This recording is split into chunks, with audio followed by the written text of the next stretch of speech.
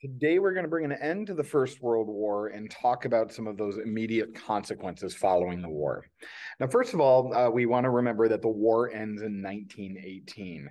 Enthusiasm for the war has long been gone. Remember that war that they thought was going to be over by Christmas in 1914? Now we're into the fourth year of the war.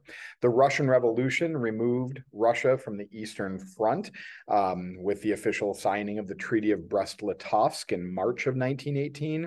The United States had entered the war back in April of 1917, but by 1918, American forces are entering the continent and American munitions and arms are making their way into the Allies in greater numbers than ever before. The German spring offensive had failed uh, to break through Western lines. And so the German defeat seemed inevitable. And they were looking in hopes to get a treaty based on Woodrow Wilson's 14 points, which was relatively lenient to the Germans.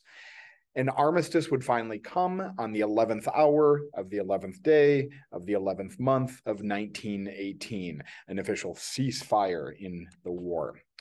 Now, this war is the most deadly conflict in human history to this point.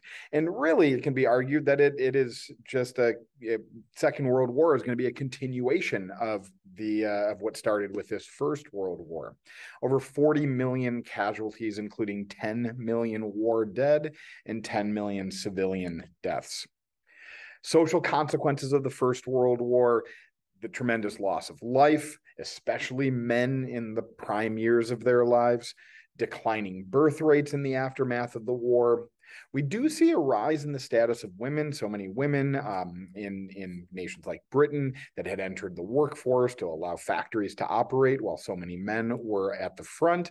Um, this is going to contribute to voting rights being gained in places like Britain and the United States in the immediate aftermath of the First World War though these gains for women would be short lived uh, for many economic consequences following the First World War, tremendous costs to all the belligerents.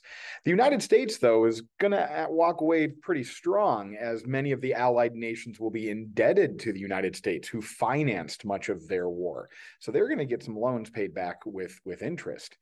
Germany is going to experience a bout of hyperinflation in the years after the war as they will attempt to pay some of the reparations that we're going to talk about in a moment with just printing new German paper marks. Uh, farmland is going to be destroyed, especially in the Western Front in northeastern France and in Belgium. Uh, industries will be destroyed in that region. Um, so we see decline both in agricultural and industrial production in the immediate aftermath of the war. And we do see the rise of the United States as an international economic superpower got a lot of political consequences following the end of World War One. Britain and France are going to remain politically stable. They won the war but we will see um, increased roles within their central governments. Um, one aspect is a, is a rise in uh, universal health care as those governments had to pump in so much of their resources to just take care of these soldiers that had come back from the war um, with their, their injuries. Uh, we see the loss of empires. The German Empire is gone. The Russian Empire is gone with the Russian Revolution. We see a collapse in Austria Hungary. We see a collapse of the Ottoman Empire. Following the war, we uh, the armistice, remember, is just a ceasefire. November of 1918 is just an agreement to stop shooting at each other so they can get to working on a treaty. And that comes uh, in Paris starting in 1919, in January of 1919, what is known as the Paris Peace Conference, uh, a set of meetings that will last uh, for the next year, where the victorious powers will work out treaties with the losers of the war um, to craft what the world is going to look like in the aftermath. This is led by the big four France, Britain, the United States, and Italy, but really, Italy is a smaller player of those four. And the Paris Peace Conference will result in a number of treaties with all of the defeated nations.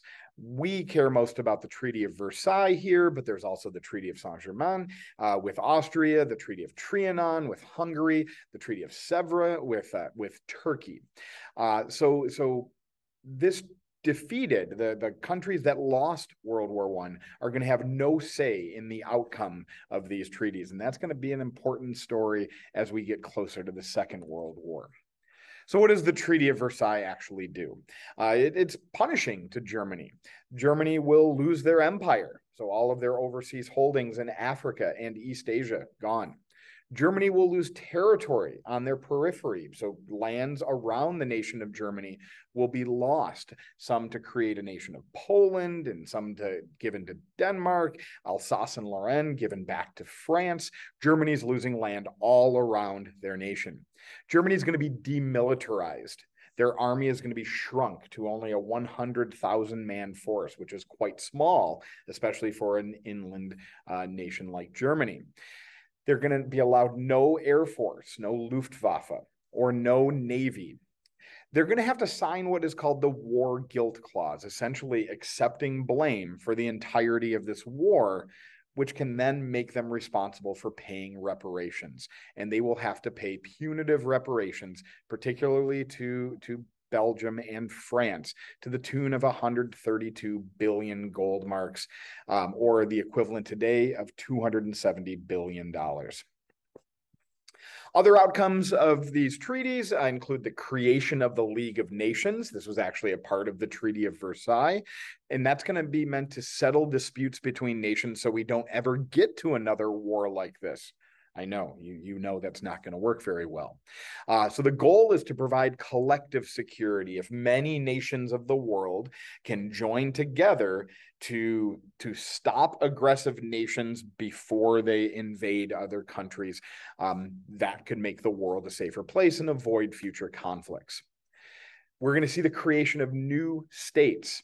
Austria and Hungary will now be two independent nations. Poland Czechoslovakia, South Slavia, Yugoslavia will be created, and an independent Turkish nation separate now from the old Ottoman Empire. The Baltic states and Ukraine will gain independence um, following the end of this war.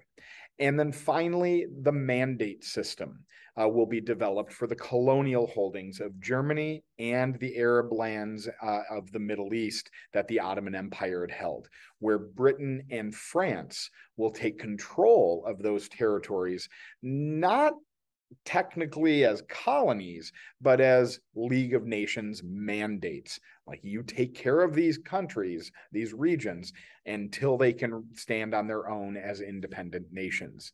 But for all intents and purposes, they basically became colonies of the British and French.